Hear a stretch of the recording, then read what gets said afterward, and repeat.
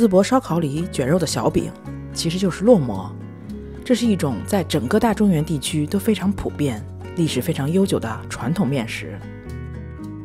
烙馍做起来也很简单，把面和得软软的，死面不是发面，揪成小剂子，醒上半个小时后，再擀成薄薄的皮儿，在烧肉的平底锅上来回翻两面，面皮儿起了泡就成了。传统的烙馍制作方法里呢，用的是这种枣核状细长的擀面杖，只需要前后推，面皮儿自动旋转，是不是很神奇？一开始擀的奇形怪状的，没关系，用熟之后啊，就可以把面擀得特别薄、特别圆，而且速度非常快。以前啊，用的是一种铸铁制成的，表面像龟背一样微微凸起的鏊子。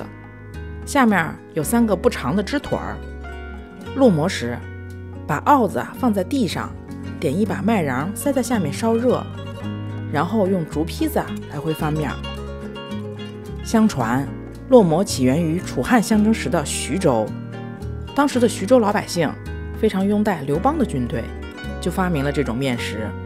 制作简单、携带方便的烙馍啊，就成了军用食品。后来，这种做法在中原地区就流传了下来。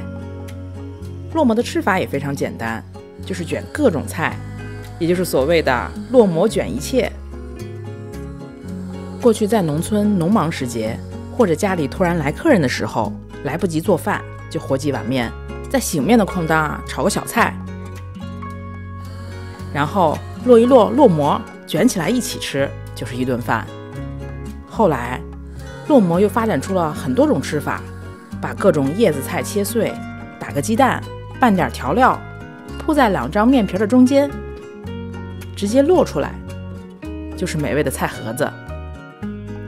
如果有牙口不好的老人呢，还可以做成水烙馍，也就是不用鏊子，而是面皮直接上锅蒸，边擀边蒸，一锅能蒸出十几张。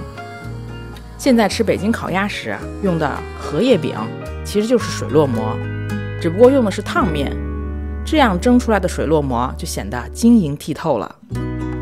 你们家吃过烙馍吗？你们那儿的小饼叫什么名字？